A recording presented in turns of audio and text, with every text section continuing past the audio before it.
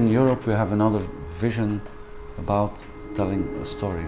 We don't have car races or helicopters and the American public is used to superheroes and in Europe we have a, another way to look at people so we, we create little heroes.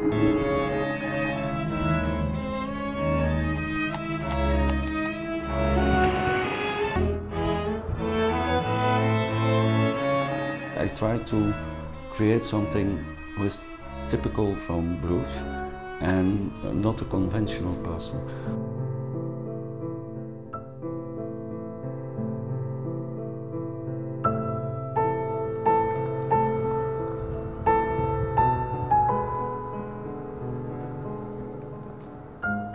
Bruges is a small city, it's a medieval city and I have used Bruges as a character in the first novels and I describe the city as a person. I think it's better to start to write when you are 40.